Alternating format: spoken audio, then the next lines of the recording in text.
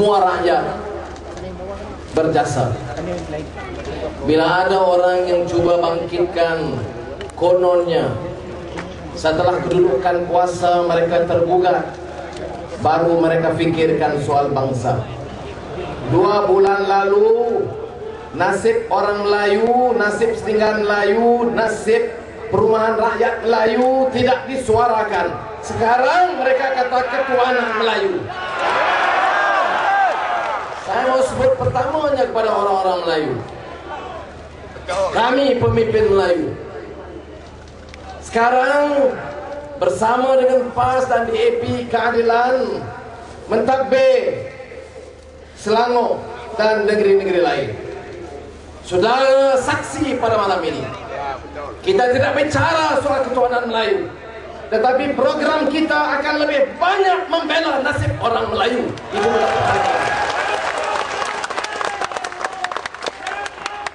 Kita tidak bicarakan ketuanan Melayu. Kerana yang kita bicarakan ialah ketuanan rakyat. Bukan ketuan toke-toke Melayu. Bukan tuan pembesar-pembesar Melayu. Bukan tuan orang-orang kaya Melayu baru. Tetapi tuan rakyat Melayu yang hidup di bawah siapa yang punya taksi?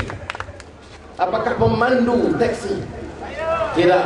Orang-orang kaya siapa yang dapat AP apakah yang bawa motorkar tidak. Pembesar-pembesar kaya siapa yang dapat kontrak-kontrak besar?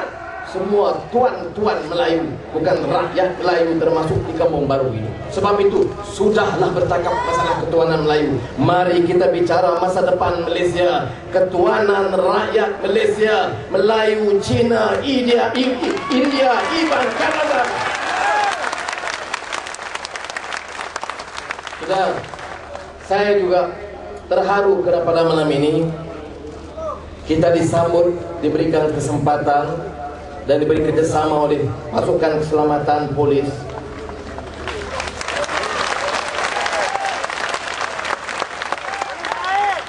Karena polis pun tahu akan berlaku perubahan kuasa tak lama lagi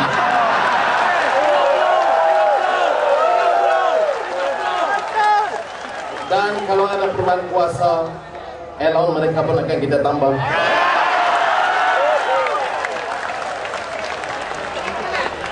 Tetapi saya juga terharu Karena malam ini Kita berhimpun Di tempat sejarah perjuangan orang Melayu Di Kelab Sultan Sulaiman Kampung Baru.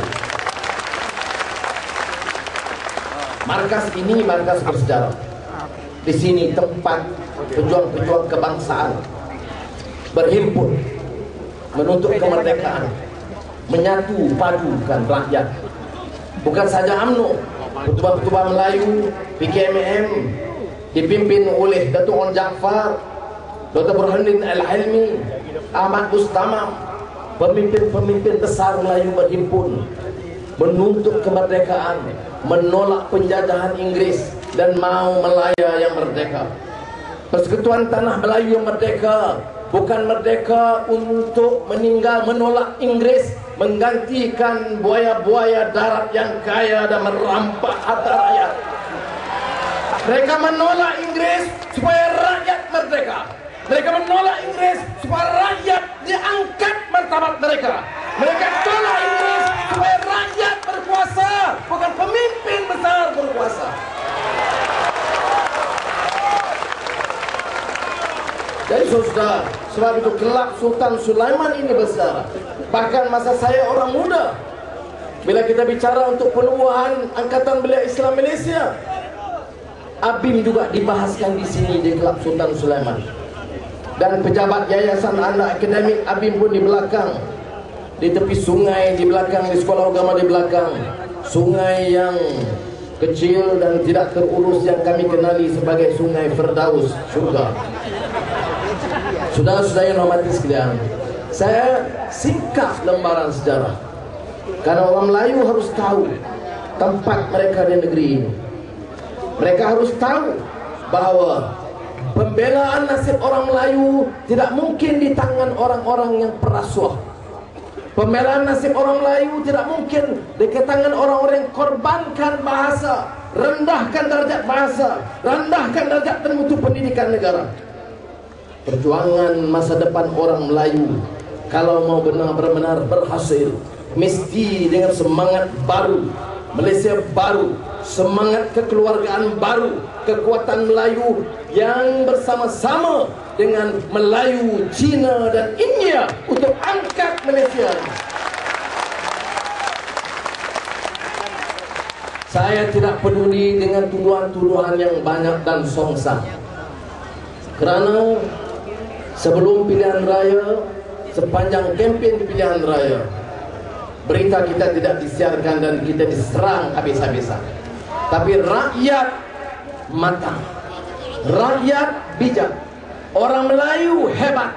Orang Cina hebat. Orang India makal sakti. Ini yang membawa perubahan. Mereka tidak percaya. Tetapi itu sejarah susah saya tidak mau ungkit apa yang berlaku sebelum itu dan saya ucap terima kasih kepada media sekarang yang mula memberi sedikit ruang melekat utusan Malaysia yang masih belum selesai kempen pilihan raya.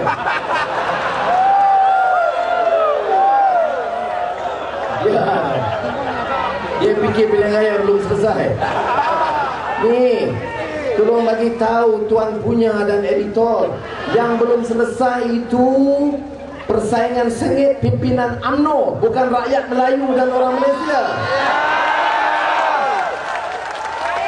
Yang belum selesai itu kempen politik sepak terajang dalam AMNO orang Malaysia, Melayu, Cina, India, Iban Karan dah ambil keputusan mereka mau Malaysia ini dirabah dirabah dan dipimpin oleh pemimpin yang berjiwa rakyat dan membela nasib rakyat